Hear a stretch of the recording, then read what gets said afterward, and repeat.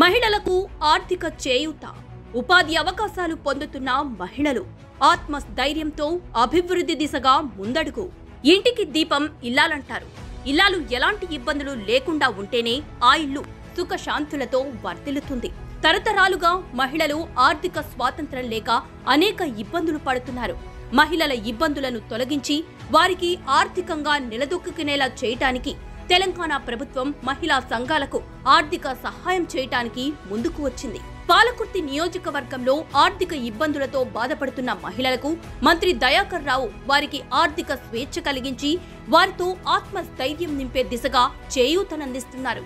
పదకొండు మంది మహిళలతో ఒక గ్రూపు ఏర్పాటు చేసి ఒక్కొక్క గ్రూపునకు ఇరవై లక్షల వరకు ఆర్థిక సహాయం అందజేస్తున్నారు. పాలకుర్తి నియోజకవర్గంలో మంత్రి దయన్న ఆధ్వర్యంలో ఇంతవరకు బ్యాంకు లింకేజీ రుణాల ద్వారా నాలుగు వందల డెబ్బై ఒక్క కోట్ల నలభై రెండు లక్షలు స్త్రీనిధి రుణాల ద్వారా రెండు వందల పద్నాలుగు కోట్ల ముప్పై తొమ్మిది లక్షలు వడ్డీ లేని రుణాల రూపంలో పదిహేను కోట్ల పద్నాలుగు లక్షలు మహిళలకు అందజేసిన ఘనత దయన్నది. దయన్న చెలవ వల్ల మహిళలు వారికి ఇష్టమైన చిన్న చిన్న జీవనోపాధిని ఎంచుకొని కుటుంబాలను ఆర్థికంగా మెరుగుపరుచుకుంటున్నారు. మంత్రి దయన్న పుణ్యమా అని తామంతా ఆత్మస్థైర్యంతో అందరిలా బతుకుతున్నామని సంతృప్తిని వ్యక్తం చేస్తున్నారు. అన్ని విధాలా మాకు సహకారం అందిస్తున్న దయన్ననే మేము మళ్ళీ గెలిపించుకుంటామని అంటున్నారు.